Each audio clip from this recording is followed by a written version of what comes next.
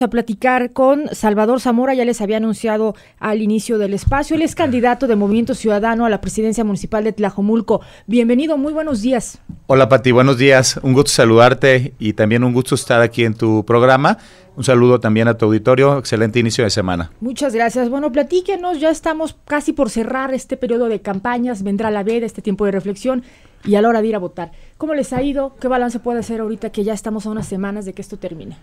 Pues prácticamente estamos ya cerrando ya la campaña, estamos a 15 días de que se cierre este proceso electoral, que por cierto ha sido muy largo. La verdad es que de la precampaña el día de hoy prácticamente estamos ya cumpliendo eh, arriba de cinco meses. La verdad ha sido eh, muy cansado para los ciudadanos porque desafortunadamente ahora los calendarios electorales, desde la precampaña, intercampaña y ahora la campaña, pues te alargan mucho la visita de los políticos a las diferentes colonias y la verdad es que eh, la, gente sí se cansa de escuchar. que podría ser más corta? Deberían de ser más cortas, deberíamos de evitar inclusive desde mi punto de vista la precampaña y hacer una campaña tal vez un poquito más compacta, pero que tenga la posibilidad de hacer propuestas, que le llegues más a la gente y que no redundes en propuestas. Luego los candidatos normalmente andan fusilándose lo que hacen otros, lo que dicen otros, las plataformas de otros candidatos y esto se convierte en un mercado desafortunado de votos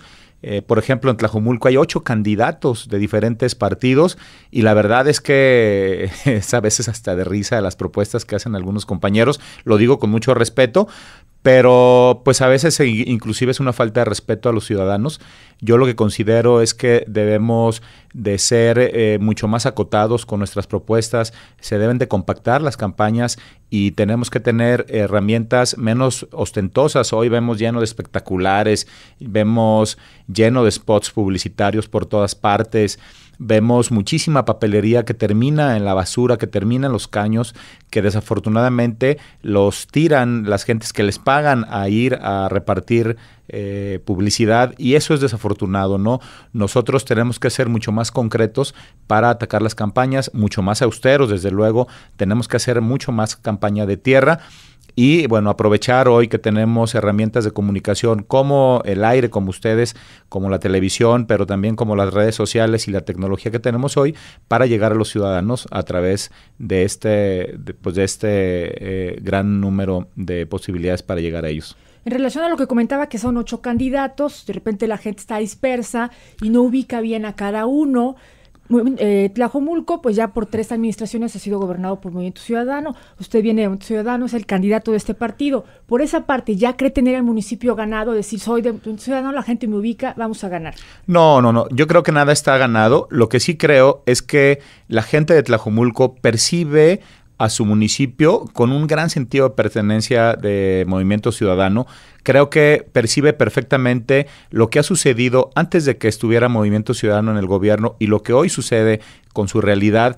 En el 2010, cuando llegamos, prácticamente Tlajumulco era considerado el patio trasero de la ciudad y hoy Tlajumulco es un referente de buen gobierno, no solamente en el área metropolitana de Guadalajara, en nuestro estado, hoy es un referente a nivel nacional en muchísimos temas y creo que la gente de Tlajumulco lo percibe muy bien, pero además es dueña de este movimiento. Creo que la, la la parte más importante que han tenido nuestros gobiernos es entregarle a los ciudadanos la toma de decisiones sobre su gobierno y creo que eso nos ha permitido que la gente misma se adueñe de nuestro movimiento, que la gente misma se adueñe de nuestro gobierno y que tome las decisiones en conjunto con las autoridades. Ahora, ¿cuál es lo que le ofrece a los ciudadanos? ¿Por qué van a usted? ¿Cuáles son las propuestas? Sabemos pendientes que hay en tema de movilidad, este, bueno, ahorita con el tema de las inundaciones, ayer afortunadamente no les tocó a ustedes, pero sí Tlajomulco ha sido escenario de fuertes inundaciones, seguridad.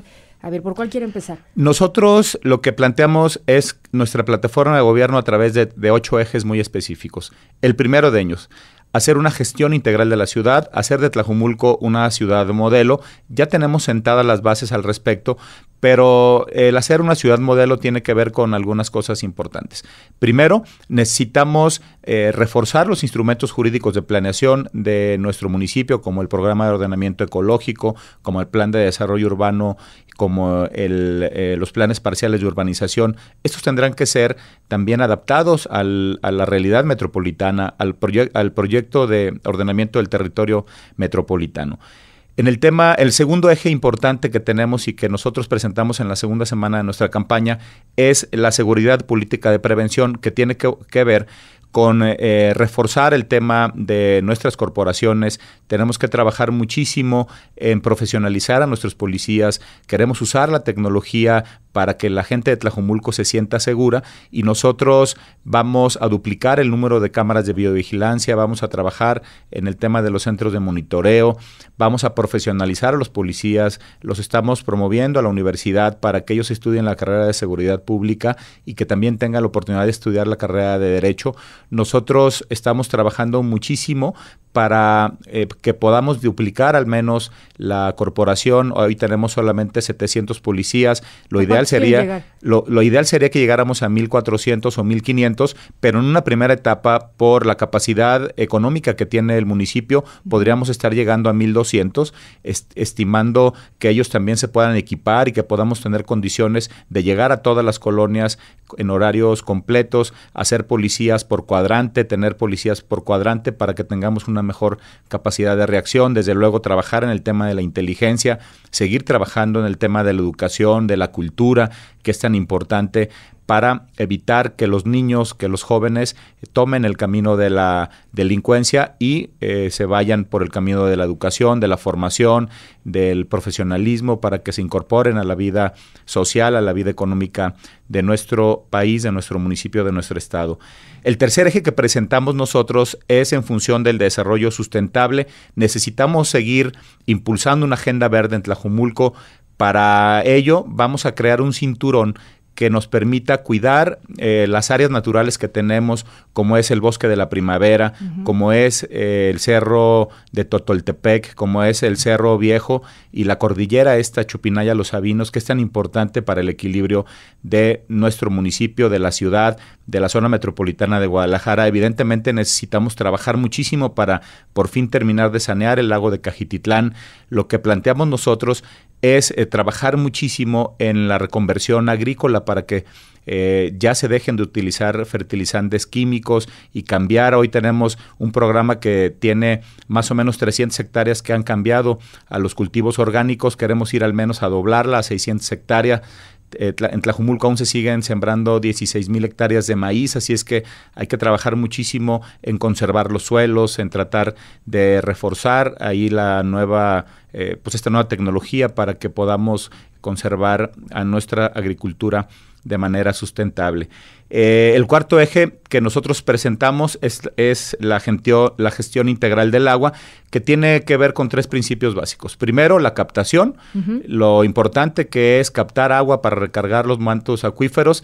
Para ello nosotros lo que planteamos es eh, reforzar la capacidad de las diferentes presas que se construyeron artificiales, no solamente para el tema de prevención de inundaciones, sino también para la captación de agua.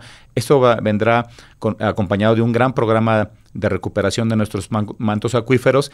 Y el la segunda parte importante, pues es el abastecimiento, que tiene que ver con uno de los problemas que padece más importantes. no tienen ahorita?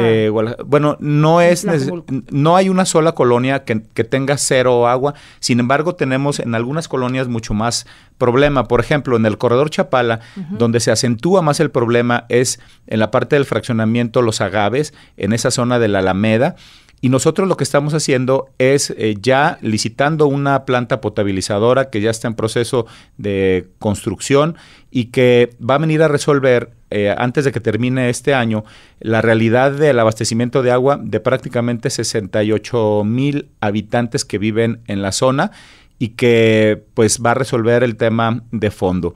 Lo que planteamos nosotros también es que para la zona valle, que digamos es la que mayor población tiene en Tlajomulco, eh, logremos nosotros eh, echar a funcionar la planta de tratamiento de Toluquilla, de la planta potabilizadora de Toluquilla, para que con esto nosotros podamos hacer una línea de conducción que llegue hasta San Sebastián el Grande y que tengamos un gran tanque almacenador de agua y de, y de, distribución para llegar a toda la zona valle, pasando evidentemente por San Sebastián y toda esta zona.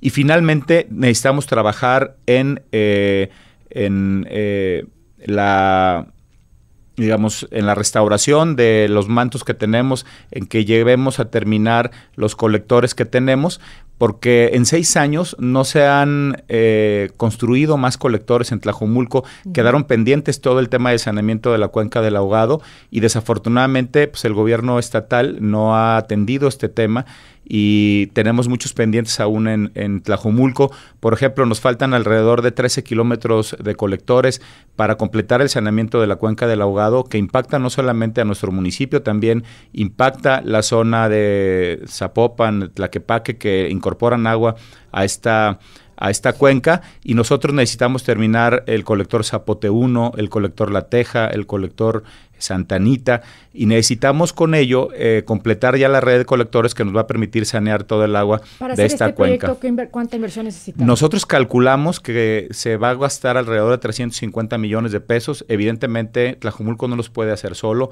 Por o eso ¿de dónde va a mm, salir este necesitamos, necesitamos que mm, el gobierno federal y que el gobierno estatal aporten en un programa que se venía haciendo eh, desde prácticamente el año 2000 de saneamiento de toda esta cuenca, pero que sobre todo cuando, si tú recomendarás, emite la macro recomendación de la. Comisión Estatal de Derechos Humanos sobre el tema de la saneamiento de la cuenca del río Santiago y de la cuenca del ahogado, después de aquel niño que se ahogó, si tú recordarás, eh, Tlajumulco era el municipio más avanzado a, es- a este respecto. El problema es que el, digamos, el saneamiento de esta cuenca tenía presupuesto federal, presupuesto estatal y evidentemente presupuesto municipal.